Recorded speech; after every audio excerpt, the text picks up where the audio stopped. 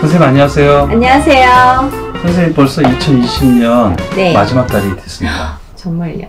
네. 한 달도 안 남았네요. 네. 또 한 살 먹겠습니다. 네, 선생님 올해 네. 행사 많이 진행하셨었잖아요. 네. 올해 정말 어마어마하게 바쁜, 정말, 저는 근데, 어, 안 바빴던 적이 없었던 것 같아요. 네. 계속 항상 열심히 달리고, 항상 바쁘게 생활을 했는데, 올해는 더더욱 바쁜 한 해였던 것 같아요. 네. 네.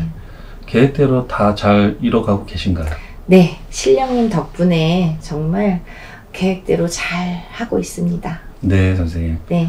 오늘은 음, 어떤 띠에 대해서 말씀해 주실 건가요? 네, 이제 양력으로는 한 달 남았는데요. 네. 경자년도 이제 한 달 남짓 남았는데, 어, 이번 시간에는 토끼띠 분들 짚어볼까 해요. 네, 선생님. 이번 양력 12월에요. 토끼띠 분들이 뭐 괜찮은 한 달이 되시겠습니다. 네. 사실은요, 올 경자년에 이 토끼띠 분들이 조금 운이 막히셨어요. 아, 네.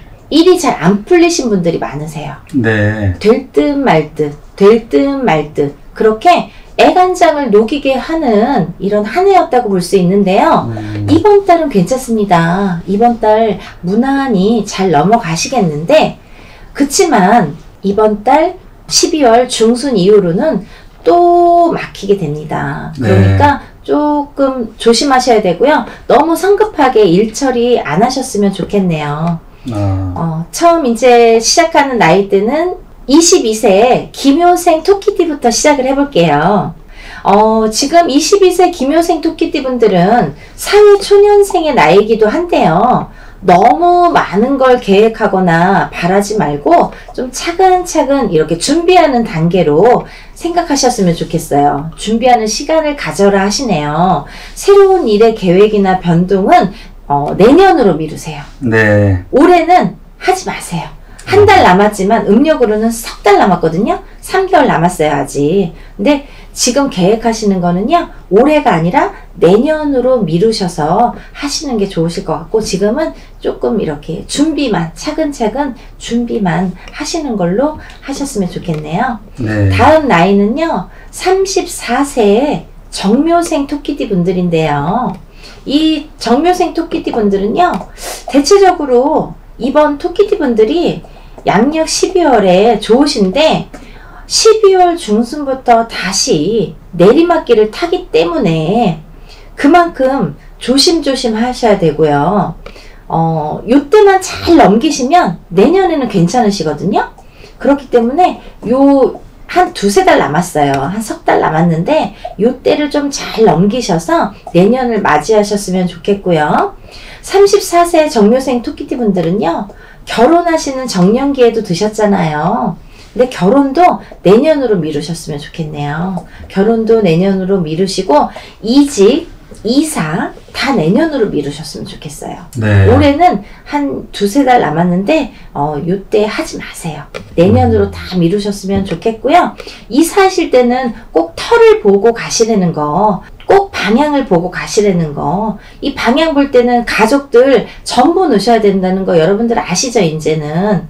나만 이사하니까 나만 보고 이런 거 아니잖아요. 가족이 다 같이 움직이잖아요. 네. 그러니까 대주, 기주, 엄마, 아빠, 자식분들, 뭐 아들, 딸 다 넣고 다 사주를 넣고 어, 그 방향이 좋은지 또 중요한 거는 방향도 중요하지만 그 터 주소만 알면 됩니다, 여러분. 몇 군데 보시면요. 도장 찍기 전에 전화 주세요. 그래서 문의하세요. 이 주소 몇 개만 돼서 어, 본 게 몇 가지가 있는데 여기 어떤가 문의하시면요. 주소만으로도 알 수 있습니다. 부자 되는 터로 가셔야죠, 여러분.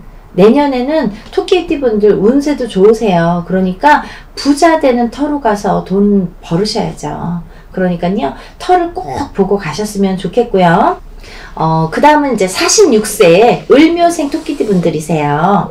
을묘생 토끼띠 분들은 올해 이혼하시는 분들도 많으셨을 거예요. 네. 이별수가 많이 들으셨습니다. 올해. 어, 어, 조금만 참으시면 내년은 괜찮으세요. 그러니까 아직 지금 뭐 막 다투고 있는 분들이 있으시잖아요. 근데 이런 게 있더라고요. 못 살 사람 못 살아요. 네. 살면 안 돼. 불행해. 아. 어. 참는 게 다는 아니더라고요. 네. 어.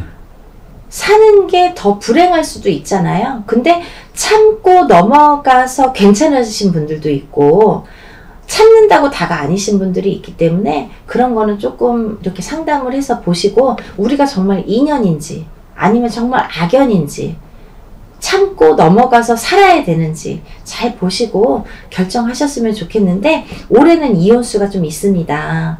마지막까지 이혼수가 많이 들으셨어요. 46세 토끼띠 분들이 이혼수가 많이 이별수, 이혼수.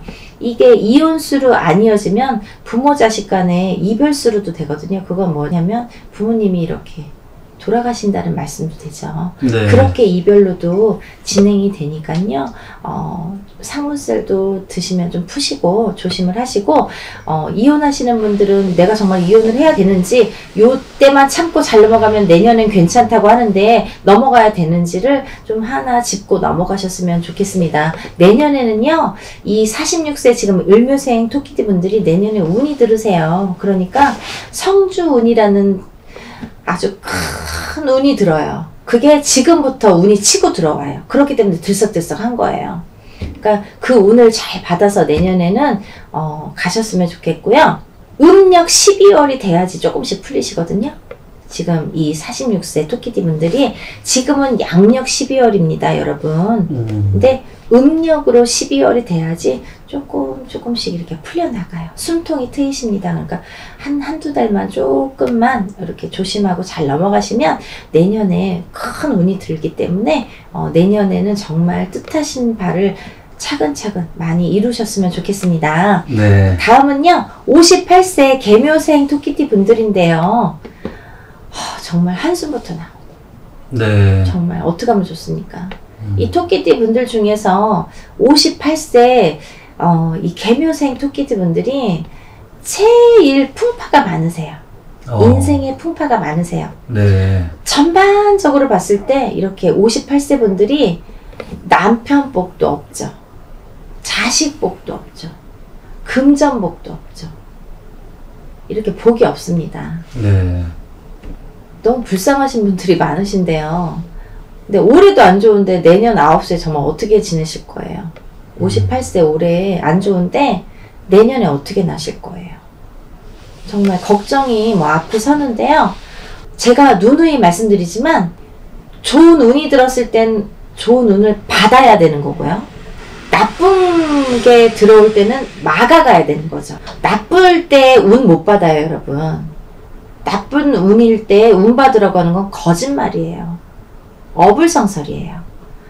좋은 운이 들었을 때 운은 받는 거고요.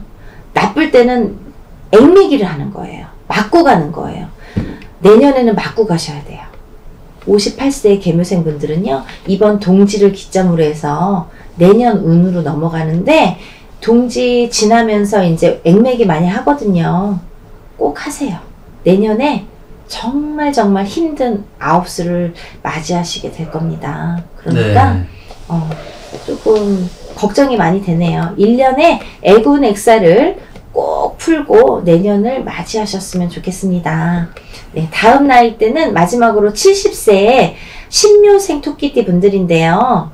어, 신묘생 토끼띠 분들은요, 연세가 이렇게 있으신데 올해 괜찮으시고 내년도 괜찮으십니다. 네. 그러니까 어, 이번 달 나쁘지 않고 내년에 괜찮지만 이 12월 중순부터 한두 달만 조심하시면 돼요. 음. 올 양력으로 12월 중순부터 내년 운세로 넘어가는데요. 12월 중순부터 한두 달만 구정 전까지만 조금 조심하시고 이분들도 연세 있으시니까 홍수매기 꼭 하시고요. 내년은 무난한 한 해로 보여지니까 어, 괜찮으실 것 같습니다. 네, 선생님. 아, 오늘도 토끼띠 분들에 대해서 네, 영상 남겨주셔서 너무 감사드리고요. 네, 다음 시간에 또 찾아뵙겠습니다. 네. 토끼디 분들도 화이팅 하세요. 감사합니다.